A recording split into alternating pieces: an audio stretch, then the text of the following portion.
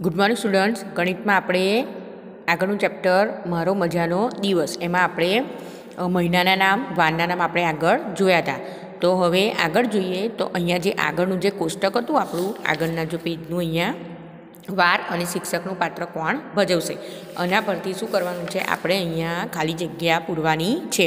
તો અહીંયા છે કે શુક્રવાર પછીના દિવસે ખાલી જગ્યા શિક્ષક બનશે તો રહેનુમાં. એટલે મેં આગળમાંથી અહીંયાથી જોઈને ખાલી જગ્યા ભરી દીધી છે. એટલે તમારે આ નોટબુકમાં લખવાની છે. કોષ્ટક દોરવાની જરૂર નથી.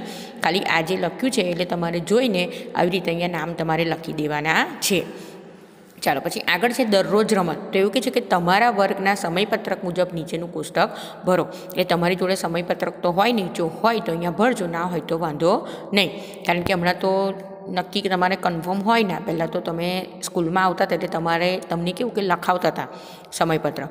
પણ હમણાં જો બી તમારી પાસે હોય તો અહીંયા આગળ તમે આ ચોપડી છે એમાં તમે લોકો ભરી દેજો.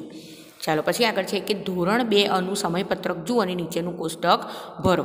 હવે મેં અહીંયા ભરી દીધું છે. અહીંયા મેં આશરે ભર્યું છે. બરાબર? આપણે અહીંયા કેવું નથી કે ચિત્ર સોમવાર આવે, સંગીત બુધવાર આવે. કારણ કે આપણે સંગીતનો પીરિયડ નથી હોતો, લાઇબ્રેરીનો પીરિયડ નથી હોતો. પણ રમત એટલે કે પીટી હતા અત્યારે તો પીટીનો બી તમારો પીરિયડ એટલે આ ત્રણ તો તમારે પીરિયડ અત્યારે છે જ નહીં. ખાલી ચિત્ર જ છે. એટલે તમે ખાલી આમાં શું કરજો? આવી રીતે આશરે સોમ, બુધ, ગુરુ, શનિ એવી રીતે આશરે આવી રીતે તમે ચોપડીમાં લખી લેજો. ચાલો એવું છે કે તમારા વર્ગમાં તો એવું છે કે કયા કયા વારે તમારે રમતનો તાસ હોય છે? તો તમારે લખવાનું કે સોમ રમતનો તાસ ક્યારે છે? તો ગુરુવારે. તો ગુરુવારે રમતનો તાસ હોય છે, બરાબર? એટલે આ તમારી જાતે તમારે ભરવાનું છે. કારણ કે આ આપણી જોડે નક્કી છે નહીં કે કયા વારે હોય. એટલે તમારી જાતે તમે લોકો આમાંથી જોઈને અહીંયા ખાલી તમારે વાર જ લખવાનો છે. જો એક તમને સમજાવું. હવે આપણે અહીંયા કયા કયા વારે લખ્યું છે એટલે કદાચ આપણે અહીંયા બે બે દિવસ આપી દઈએ કે ભાઈ બે દિવસ હોય. ચલો, હવે ચિત્ર છે તો આપણે સોમ અને અહીંયા બુધવાર આપી દઈએ. બરાબર? પછી સંગીત છે તો બુધ અને શનિવાર આપી દઈએ. પછી રમત ગુરુવાર અને શુક્રવાર અને લાઇબ્રેરી છે તો એ એકલું શનિવાર રાખીએ, બરાબર? ચાલો, અમે બે વાર લખી નહીં જશે. હવે તમારે અહીંયા પેલું છે કે કયા કયા વારે તમારે રમતનો તાસ હોય છે? તો રમતનો તાસ ક્યારે હોય? ગુરુવાર અને શુક્રવાર. તો તમારે લખવાનું કે ગુરુવાર અને શુક્રવાર. આવી રીતે અહીંયાથી જોઈને શું કરવાનું છે? તમારે અહીંયા પ્રશ્નના જવાબ જાતે લખવાના છે, પેન્સિલથી, બરાબર? અને ખાલી વાર જ લખવાના, બીજું આખા વાક્યમાં લખવાની જરૂર નથી અને આ નોટબુકમાં નથી લખવાનું. ખાલી આ તમારે ચોપડીમાં લખવાનું છે. ચાલો, હવે આગળ સિત્તેરમા નંબરના પેજ પર આવી જાઓ.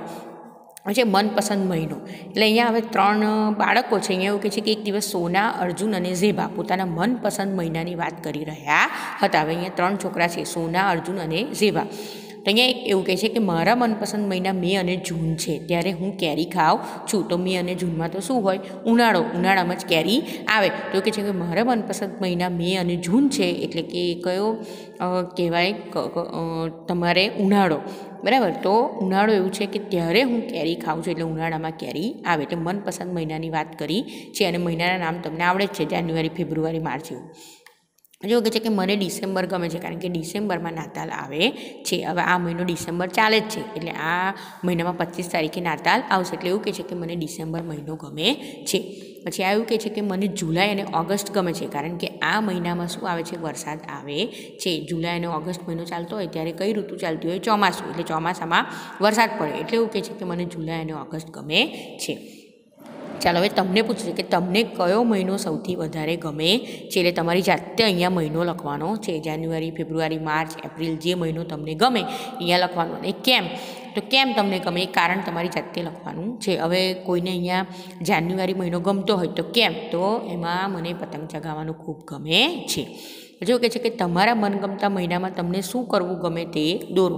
હવે તમને જે મહિનો ગમતો હોય એમાં તમને શું કરવું ગમે એનું ચિત્ર તમારે અહીંયા દોરવાનું, જેને આવડે તેને દોરવાનું, ના આવડે તો વાંધો નહીં.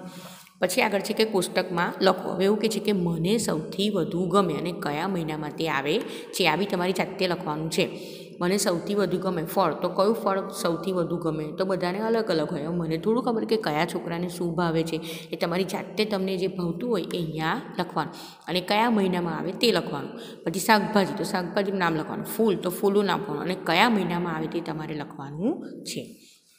ચાલો એવું છે કે તમે કે તમારા મિત્ર ઉજવતા હોય તે પાંચ તહેવારોના નામ લખો અને આ તહેવારો કયા મહિનામાં આવે છે તે પણ લખો. હવે આમાં મહિના તમને અહીંયા કીધું નથી કે અંગ્રેજી મહિના અને ગુજરાતી મહિના, બે મહિના હોય એ તો તમને બી ખબર છે. ગુજરાતી મહિનાના બી નામ તમને આવડે છે, કારતક માક્ષર પોષ અને અંગ્રેજી મહિનાના નામ જાન્યુઆરી, ફેબ્રુઆરી, માર્ચ એને કહેવાય. તેવું કહે છે કે તમારા મિત્ર તમે કે તમારા મિત્રને પાંચ તહેવારોના નામ લખવાના છે. હવે અહીંયા તહેવારનું નામ ને કયા મહિનામાં તે આવે તે છે. હવે ચિત્ર તમને આપ્યું છે જો હોળીનું. હું તમને એક ઉદાહરણ આપું છું બીજા તમારી જાતે લખવાના. તો પાંચ તહેવારોના નામ કીધા છે. તો પાંચ તહેવારોના નામ આપણે અહીંયા પહેલું લખીએ કે ભાઈ ઉત્તરાયણ, બરાબર? તો કયા મહિનામાં આવે? તો જાન્યુઆરીમાં આવે આવી રીતે. પછી બીજું છે તો નાતાલ. તો નાતાલ શેમાં આવે? તો ડિસેમ્બરમાં. આવી રીતે તમારે બીજા ત્રણ છે એ તમારી જાતે લખવાના છે ચોપડીમાં. પછી આગળ છે હવે એવું છે કે કોઈપણ એક તહેવારનું દ્રશ્ય અહીં દોરો, એટલે કોઈપણ એક તહેવાર હોય એનું દ્રશ્ય તમારે દિવાળી હોય કે નવરાત્રિ જેવું તમને આવડે, એવું અહીંયા તમારે શું કરવાનું છે, ચિત્ર દોરવાનું છે. પછી આગળ છે કે નીચે આપેલી યાદીમાં કેટલા મહિનાના નામ ખૂટે છે? તે મહિનાના નામ લખો.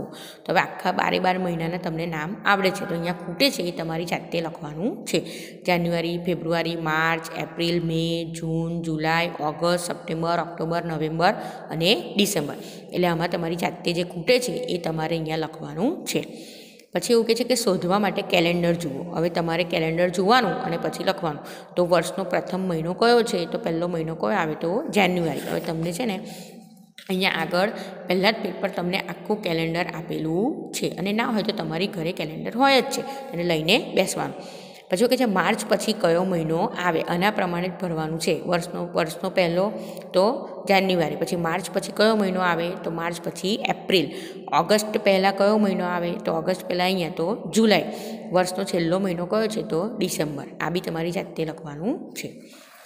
ચાલો, હવે આગળ એવું છે કે ફેબ્રુઆરી અલગ છે. ફેબ્રુઆરી અલગ છે એટલે કેમ? કારણ કે આપણને ખબર છે કે બાર મહિના હોય, એમાં ત્રીસ કે એકત્રીસ દિવસ હોય. પણ ફેબ્રુઆરી જેવો મહિનો છે કે એમાં અઠ્યાવીસ કે ઓગણત્રીસ દિવસ હોય.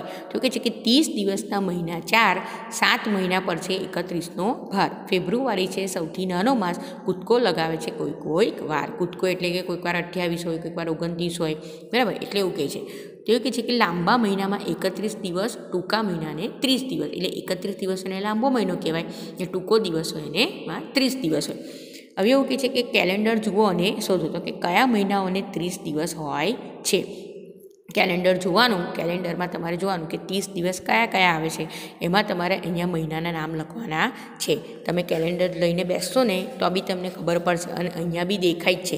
આ જાન્યુઆરી છે, એમાં એકત્રીસ દિવસ છે. બરાબર? પછી ફેબ્રુઆરીમાં અઠ્યાવીસ કે ઓગણત્રીસ હોય. પછી માર્ચ, પછી એપ્રિલ, તો એપ્રિલમાં ત્રીસ દિવસ હોય. એટલે જેમાં ત્રીસ દિવસ હોય, એના મહિનાના નામ લખવાના છે. પછી સપ્ટેમ્બરમાં બી કેટલા? ત્રીસ દિવસ છે. એટલે આવી રીતે કેલેન્ડર લઈને બેસવાનું અને એમાં પછી જોવાનું કે તમારે કેટલા દિવસ આવે છે. એવી રીતે તમારે શું કરવાનું છે? અહીંયા લખવાનું છે.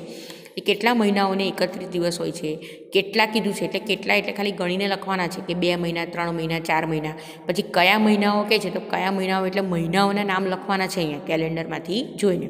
પછી મે અને જૂનના ભેગા થઈને કુલ કેટલા દિવસ થાય? મે અને જૂનના ભેગા થઈને તમારે અહીંયા કુલ કરીને અહીંયા લખવાના છે. પછી જુલાઈમાં કેટલા રવિવાર છે, તમારા જન્મદિવસે કયો વાર આવે? આ બધું કેલેન્ડર જોઈને જ ખબર પડશે. કેલેન્ડર જોયા વગર ખબર પડે નહીં. ચાલો હવે લખ્યું છે, શોધો. તો કે તમારું ઉનાળુ વેકેશનમાં તમને કેટલા દિવસ મળે છે? તો ઉનાળા દિવસ ઉનાળુ વેકેશન હોય તો આપણે દોઢ મહિનો હોય. બરાબર? દોઢ મહિનો એટલે તમે ત્રીસ દિવસ, એકત્રીસ દિવસ હોય ઉપર બીજા પંદર દિવસ. એટલે તમારે દિવસ ગણવાના. એટલે અહીંયા લખવાનું કે ભાઈ દોઢ મહિનો. એ દિવસ ગણવાના છે એટલે દિવસ લખીને અહીંયા તમારે લખવાના.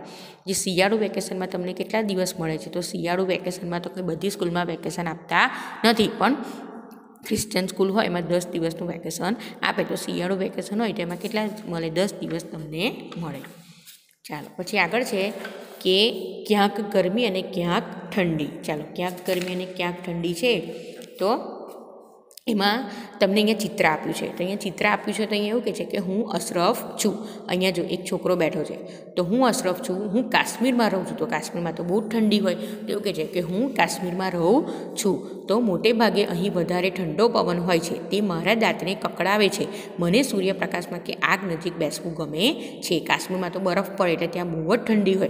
તેવું કહે છે કે મારા તો દાંત બી કકડી જાય છે અને મને સૂર્યપ્રકાશમાં અને આગમાં બેસવાનું ગમે છે. એટલે આ લોકો આગમાં બેસે છે. કેમ? કારણ કે આમાંથી એ લોકોને ગરમી મળે. ચાલો પછી અહીંયા તમને શું પંખાનો પવન નાખે છે એવું તમને અહીંયા દેખાય છે અને એક છોકરો નાય છે. તેનો મતલબ શું ગરમી હોય તો જ આપણે આવું કરીએ. તો અહીંયા એવું કહે છે કે હું લક્ષ્મી છું, હું ચેન્નાઈમાં રહું છું.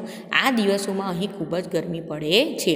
જો હું ખુલ્લા પગે ચાલું તો પગ દાજે છે. મને તળાવ કિનારે બેસવું ગમે છે. આ ચેન્નઈની વાત કરે છે. તો ચેન્નઈમાં શું કહે છે કે બહુ જ ગરમી પડે છે અને ખુલ્લા પગે તો ચાલી શકાય નહીં. અને તળાવ કિનારે કેમ? કારણ કે પાણી હોય તો એને લીધે ઠંડક લાગે. એટલે મને ત્યાં બેસવાનું ગમે છે. હવે તમને આપણે ચોમાસાની ઋતુ જેવું અહીંયા દેખાય છે. ઓકે છે કે હું રૂબેયા છું, હું મેઘાલયમાં રહું છું.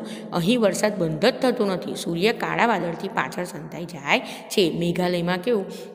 પહાડી વિસ્તાર હોય ત્યાં પહાડ ત્યાં આગળ કેવું કે બારે માસ કહે તો બારે માસ બી કહેવાય કે ત્યાં આગળ વરસાદ પડ્યા કરે. એટલે એવું કહે છે કે અહીંયા વરસાદ બંધ થતો નથી. એટલે અહીંયા આનું દ્રશ્ય તમને બતાવ્યું છે.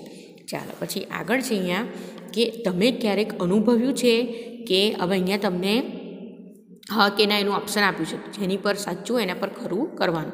તો તમને ક્યારેક અનુભવ્યું છે તો એવું કહે છે કે તમારા દાંત ઠંડીથી કડકડે છે, પછી બ ખુલ્લા પગે ચાલતા તમારા પગ દાજે છે? બરાબર. આ અ, બ અને કને એવું છે કે એક મહિનાનું નામ લખો જેમાં તમે ખુલ્લા પગે સરળતાથી ચાલી શકો છો. જો આ તમારા દાંત ઠંડીથી કડકડે છે કડકડે છે તો હા લખવાનું અને ના હોય તો ના પર કરવાનું.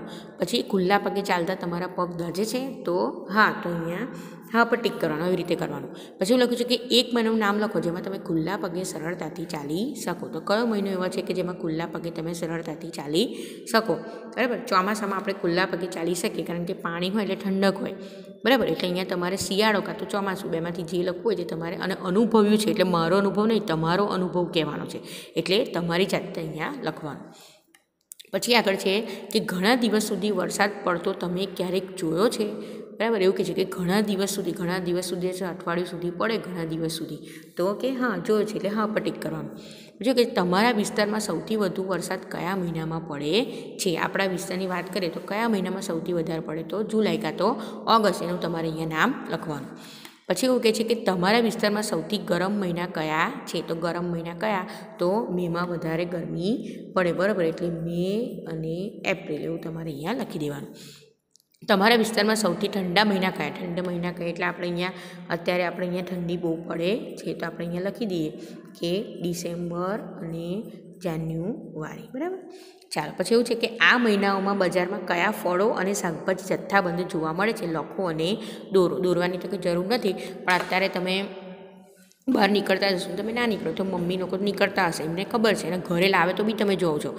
તો મે અને જૂનમાં કયા ફળો હોય, શાકભાજી હોય, પછી ડિસેમ્બર, જાન્યુઆરી અત્યારે લેટેસ્ટ અત્યારની જ વાત છે. તો કયા ફળો આપણને દેખાય છે અને કયા શાકભાજી દેખાય છે એ આપણે આમાં તમારે લખવાનું છે. એટલે અહીંયા તમારે શું કરવાનું છે? ચોપડીમાં લખવાનું છે. બરાબર? એટલે અહીંયા આગળ આપણો પાઠ અહીંયા પૂરો થાય છે. આમાં જેટલું તમને કીધું એ બધું તમારે ચોપડીમાં જાતે જ ભરવાનું છે. શાંતિથી વાંચવાનું, બધું આવડે એવું છે, કશું આવડે એવું નથી. બરાબર, બધું જ આવડે એવું જ છે. એટલે ખાલી તમારે કેલેન્ડર લઈને બેસવાનું, બીજું બધું એમાંથી આવડે એવું જ છે. એટલે અહીંયા આગળ આપણો પાઠ પૂરો થાય છે. હવે આગળના પીરિયડમાં આપણે શું કરીશું? શ્રદ્ધેપુથી લખીશું. Thank you